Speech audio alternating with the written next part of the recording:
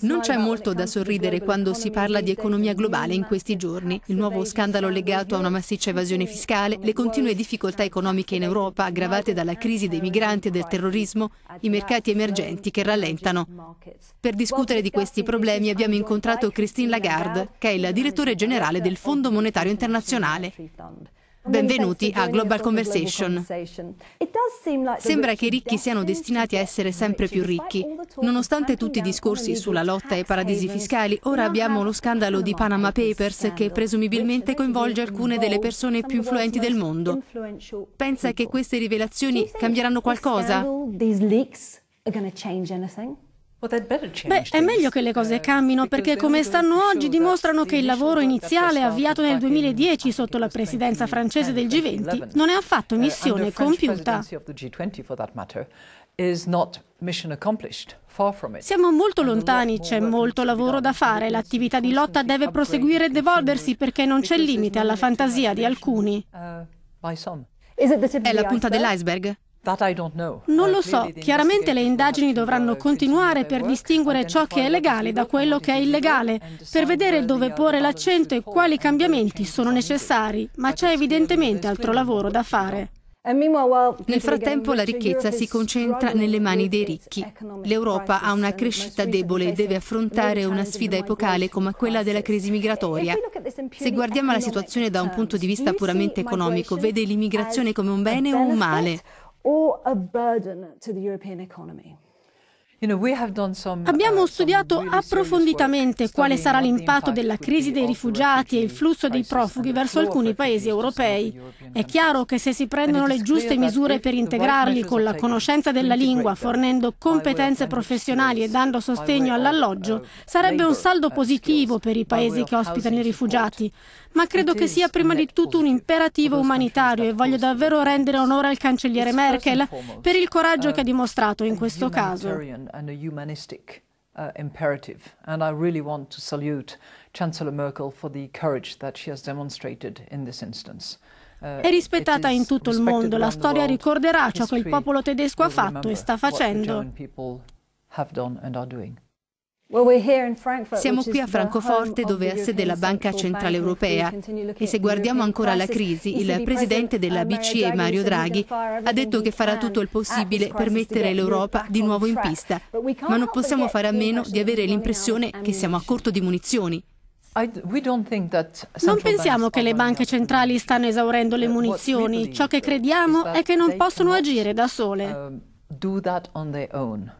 Eh, Rilanciare le economie, aumentare la eh, crescita con un vero e proprio recupero. Sono obiettivi che non saranno raggiunti da eh, politiche monetarie da sole, ma ci sarà anche bisogno di riforme strutturali, misure fiscali e queste azioni tutte assieme aiuteranno a ripristinare la situazione economica dell'Unione Europea e in particolare quella della zona euro perché si parla di politiche monetarie. Questo è fondamentale. The European Union and particularly the euro area because you're talking about monetary policies. This is imperative. Rimanendo in tema di prospettive di miglioramento, se guardiamo la Grecia, la Grecia sembra avere di nuovo problemi.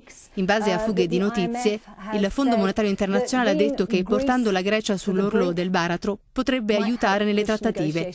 Solo che lei ha detto che è un'assurdità ma quanto siete vicini a un accordo? Perché sembra abbastanza lontano. Ho detto più volte che abbiamo bisogno di un programma che funzioni davvero, finalizzato a ridare stabilità economica e dove il debito sia sostenibile nel lungo periodo. E questo è il vero punto oggi più che mai. Il lavoro è stato fatto, sono stati compiuti progressi, ma c'è ancora molto lavoro che deve essere continuato. Le soluzioni rapide sono un'illusione, solo le vere riforme sosterranno e aiuteranno la popolazione greca nel lungo termine. Se le riforme non arriveranno, che cosa farà l'FMI? Speriamo che arrivino. C'è bisogno che il programma funzioni davvero. Dovremo trovare punti di equilibrio tra le riforme da una parte e il problema del debito dall'altra. Si è detto che un possibile default della Grecia potrebbe coincidere con la Brexit e il referendum sull'uscita del Regno Unito dall'Unione Europea. Alcuni dell'FMI hanno detto che sarebbe un disastro. Qual è la vostra opinione su questo? Quello che speriamo è fare passi in avanti e rimuovere l'incertezza, quindi non penso che dovremmo unire le due cose. Non è mai stato questo il nostro approccio di negoziazione né la nostra tattica. aim for that at all. Il dibattito sull'uscita del Regno Unito è qualcosa che spero si risolverà favorevolmente per l'Europa e per il Regno Unito. Non voglio interferire con il voto perché attualmente stiamo facendo un lavoro per valutare l'impatto economico che ognuna delle due opzioni avrebbe.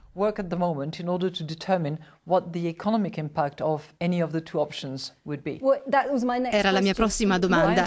L'ho anticipata. Quindi quali sarebbero questi impatti in un caso o nell'altro? So far Ancora non so perché stiamo ancora uh, conducendo il lavoro che è preciso, indipendente e molto dettagliato. Le mie opinioni personali sono irrilevanti nel contesto della nostra discussione. L'impatto economico è qualcosa che abbiamo bisogno di conoscere e uscirà a maggio con l'esito di tale lavoro.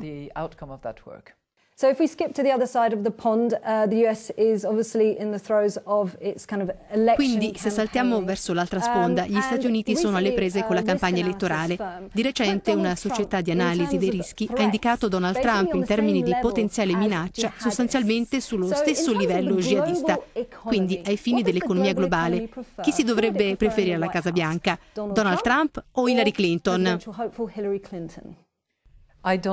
Non, non, ho opinioni politiche, non devo uh, affrontare questa scelta perché non voto negli Stati Uniti, anche se votassi non lo direi comunque. Sta alle persone decidere. Il Fondo monetario è impegnato con i paesi, il Fondo monetario è al servizio dei uh, popoli.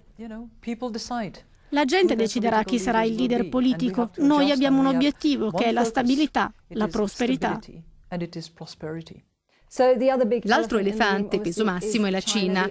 L'FMI ha suonato la campana. Dovrebbe dire il panda, non l'elefante.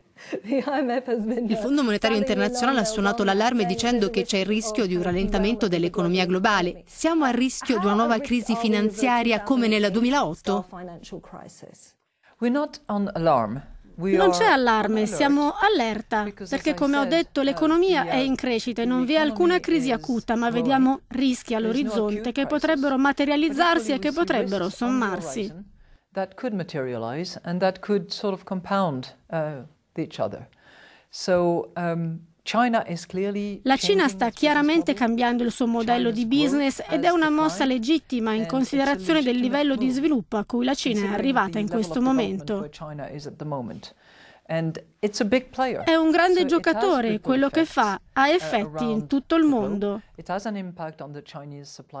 Ci sarà un impatto sulla catena di fornitura cinese che ha un impatto sul prezzo delle materie prime, ma è una situazione con cui lavorare e il Paese sta contribuendo ancora significativamente alla crescita economica globale.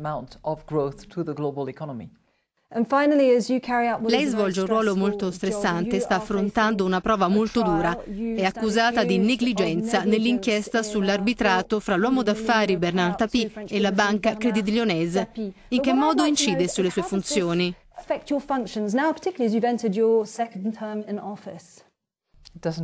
La cosa non influisce minimamente sul mio lavoro, gli avvocati fanno il loro mestiere, il processo farà il suo corso. Christine Lagarde, many thanks for being with us on the Global Conversation.